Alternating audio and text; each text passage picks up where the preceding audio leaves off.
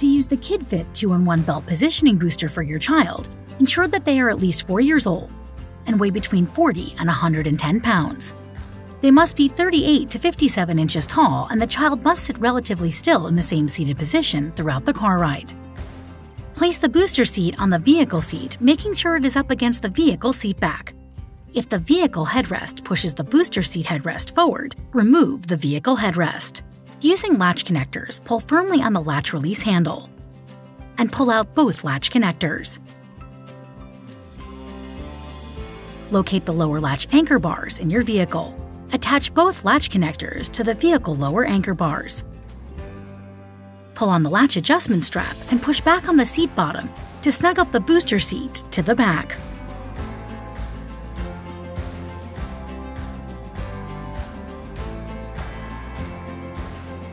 Now place your child into the booster seat, making sure the child is sitting with his or her back against the booster seat backrest. Adjust the seat back to the proper height. The shoulder belt guide must be positioned at or just slightly above the child's shoulder. Now slide the shoulder belt through the orange shoulder belt guide. Make sure the belt is below the belt guide clip.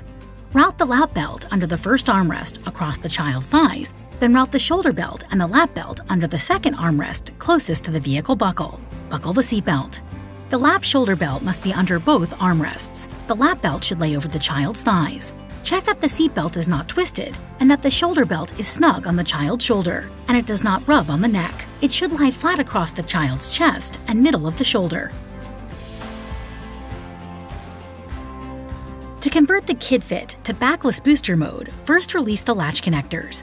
Pull firmly on the latch release handle while pulling the booster seat out and away from the vehicle seat. Then pull the latch adjustment strap tight to store the latch connectors. Turn the seat over and press down on the backrest connection release at the base of the seat back under the seat bar. At the same time, rotate the seat back and remove the backrest from the booster seat bottom. Then tuck the fabric panel between the fabric and the seat surface.